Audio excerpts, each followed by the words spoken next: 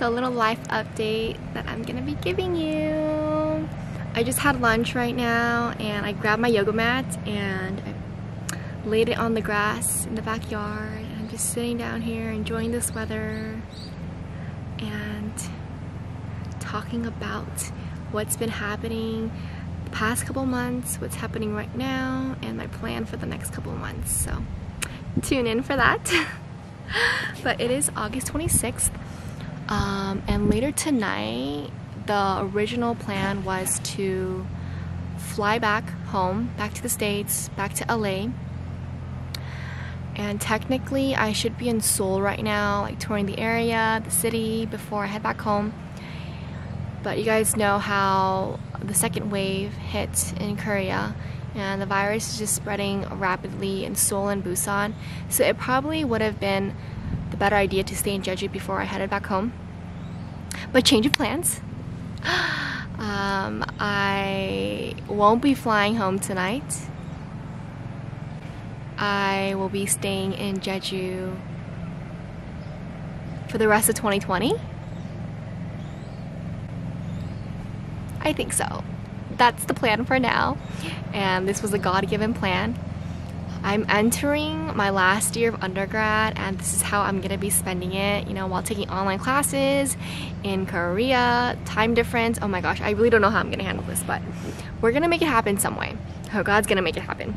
And I'm gonna be working, tutoring high school students. There's all, a lot of things going on, but I'll manage it. I can do it. No worries, right? But a couple weeks ago, I had a thought of staying a couple more weeks in Korea before my 90 days was up because I wanted to just like fulfill the 90 days and take advantage of me being in Korea right now. But that thought that I had, it turned into a couple more months. So with the help of Lena's family, uh, we applied for a visa to extend my stay here and it's still in the process but everything seems to be going smoothly right now. And we're gonna take it like we're gonna leave it like that right now as me leaving in December or beginning of January. Um, and the beginning was the making the decision was a little tough. I was very indecisive and I'm already an indecisive person in general but it, was very hectic and complicated I didn't want to think about it, so I was like, is it better to just go back instead of just staying here? But all to the glory of God, He spoke to me, gave me a plan, gave me an answer, and was like, here you go. And I was like, okay, thank you. And also with the help of my parents too, they helped me decided, they helped me decided to um, stay in Korea for the rest of the year and just experience life here because I've always wanted to. But obviously, if they were against it, then I'd be flying home tonight um, because I want to listen to my parents. And it is one of the commandments too, to honor your parents. Wink, wink.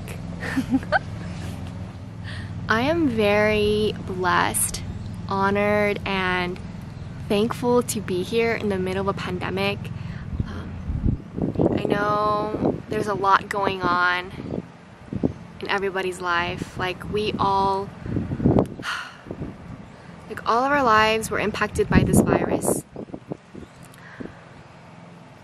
For some, the worst case possible. For some, we're truly blessed to not have fully experienced it. But during my two months here, I've created so many memories taken a lot more opportunities, challenged myself, um, grew spiritually, spending a lot more time with God in the Word, and really reflecting about my life. And on that note, I've been reflecting a lot. Like, let me emphasize a lot. like, majority of my time is thinking about my life, my purpose in life. What has, what kind of purpose, what kind of mission has God given me um, on this earth? And I was supposed to do something else this summer. Like my plans, okay, let me tell about let me talk, talk to you about my plans. My plans were studying for the MCAT, working as an EMT because I got my license last December, and volunteering for organizations that I've always wanted to volunteer for, and um, continue volunteering for this hospice company that I was. But guess what? Those were all on pause, and I've realized being in Korea, I'm restricted to do a lot of things. Like those plans, I can't even do any of those right now. Like God's just put like a pause in my life and he's like, you know what? You can't do this right now and you're gonna do my plan and I just want you to focus on this job opportunity that I gave you. So here I am, just focusing on that and not really worrying about anything else. Um, so hopefully I can resume my plans when I get back to the States because that's what I want to do. But if not, then it's okay because God has a better plan for me.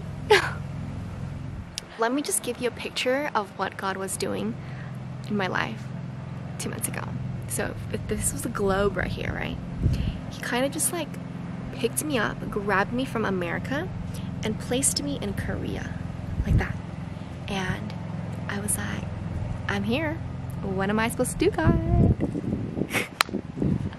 that was a little reference, but anyways, a lot of my friends and family are surprised and are in shock and in disbelief like how is this possible and whatever questions or thoughts you have too i also have the same thing like i did not know this was going to happen in my life like who would have thought right like god is just full of surprises and he just likes to surprise us sometimes maybe most of the times but everything is just happening really quick like it's really hard for me to keep up with god but this is God's love for me, and this is God's love for all of us. He wants the best for us while we are on this earth. And so He offered me a better plan. The Holy Spirit spoke to me and guided me, and I followed, and bam, I ended up here. This is what just happens when you go according to His plan and not your plan. But that's totally okay. Oh my gosh. God's just been so, so, so present in my life, and He's doing so much. And this isn't only for me, but He's also doing something right now in your life, in this moment. And when you have something called faith and you give your life to Jesus Christ, wow. I don't even know how to explain or show you this, but God's gonna do so much. He's gonna do even more than you can imagine. And you're gonna feel like a new person. You're gonna feel so different, and others will feel that too. And that you're gonna be a blessing to others. He's always waiting for you to come to Him. He's waiting for us. He's waiting for that moment for us to go to Him. He's offered His hand out and He wants us to grab that hand. And once you grab that hand, He's gonna do so many miracles in your life, and you're just gonna be in shock because what? This is possible? How is this possible, right? But it's possible. Only with God it's possible. And so He's going to provide you with whatever you need. He's going to take you under His arms. He's going to hug you. He's going to comfort you, protect you in all circumstances. That's what I have to say right now. And if you've watched this far, thank you for listening to my story. I hope you received some kind of encouragement, inspiration, hope or even something moving in your heart, or even felt God's love. I would hope that you did get something out from this video. But before I end, I just want to pray for all of us. So you can close your eyes, bow your heads, put your hands together, or you can just watch me pray. Up to you. But let's just have a short prayer for us. Dear Heavenly Father, Lord, first off, I just want to say thank you so much for everything that you have done, for everything you are doing, and you will be doing in our lives. This pandemic has affected all of us in some sort of way, and I pray that we can lean on you and go to you, Lord, for answers and for each just to heal our hearts, Lord. We're hurting, we're suffering, we're in pain, and we just need your comfort. We just want you to come hug us and tell us that everything's gonna be okay, for us not to worry. Because you will make everything possible. You will heal our hearts, Lord, and you're gonna put place peace into our hearts. You love us so much, and I pray that with that love we feel from you, that we're able to express that and show and share that to those who need love. This world just needs so much love. We lack love, and I think that's why we we hurt one another and we do things that we shouldn't be doing.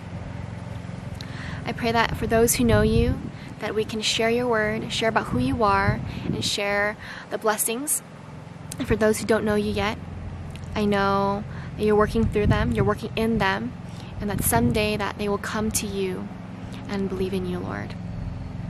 Lord, once again, thank you so much for just giving us another day, and I um, pray